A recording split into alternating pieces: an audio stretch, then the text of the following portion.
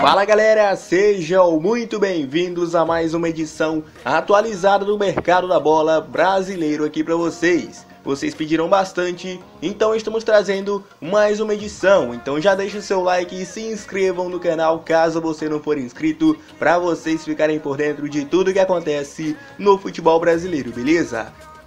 E antes de começarmos as notícias, vamos dar um recado bem rápido aqui para vocês. Esse vídeo é um oferecimento do aplicativo OneFootball, o aplicativo essencial para você que é amante do futebol assim como eu e quer ficar por dentro de todas as notícias do seu time do coração. Ele é gratuito para Android e iOS está no primeiro link da descrição. Baixe e confira esse aplicativo fantástico. E bom galera, vamos deixar de papo e bora falar do mercado da bola. Vamos começar falando do Galatasaray, que ofereceu o Mariano ao Atlético Mineiro em troca pelo lateral Guga. O Galatasaray tem interesse no lateral Guga e pode oferecer Mariano e uma compensação em dinheiro ao Atlético Mineiro pela negociação. O clube turco monitora o jogador de 20 anos já há algum tempo. O Galo, por sua vez, enxerga o jovem defensor com grande potencial e não vai facilitar as negociações. A ideia é, em caso de venda, receber uma boa quantia. Mariano é experiente e apesar do Atlético Mineiro não confirmar, existe o interesse no lateral de 32 anos que chegaria para ser titular da equipe. Já Guga atualmente perdeu a vaga de titular no clube mineiro, mas ainda é considerado importante jogador. Nos bastidores dirigentes se mostram divididos e há quem afirme que a negociação seria muito boa para o Galo. E agora vamos lá para Porto Alegre, galera, falar do Grêmio, que mira o meio atacante Marlos do Shakhtar Donetsk da Ucrânia. De olho na eminente venda de Everton Cebolinha, o Grêmio tem Marlos do Shakhtar Donetsk da Ucrânia como possível substituto. O meio atacante em São Paulo é o principal alvo do tricolor gaúcho, que também cogita tentar o retorno de Juliano, do Al Nassr, da Arábia Saudita.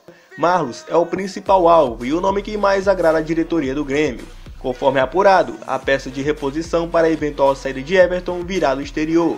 Uma aposta está praticamente descartada, com isso, apenas um reforço de peso seria visto como o ideal para suprir a perda de um jogador tão importante.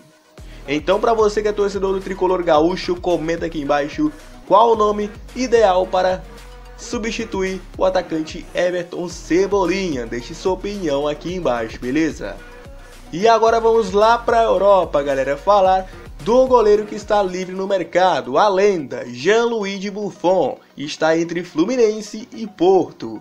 Exatamente, galera. Jean-Louis Buffon está indeciso entre propostas do Fluminense e do Porto de Portugal. As informações são do renomado jornal italiano La Gazzetta dello Sport, que afirma que o tricolor da Laranjeiras pode ser um dos prováveis destinos do jogador de 41 anos. O clube carioca busca um novo camisa 1 no mercado.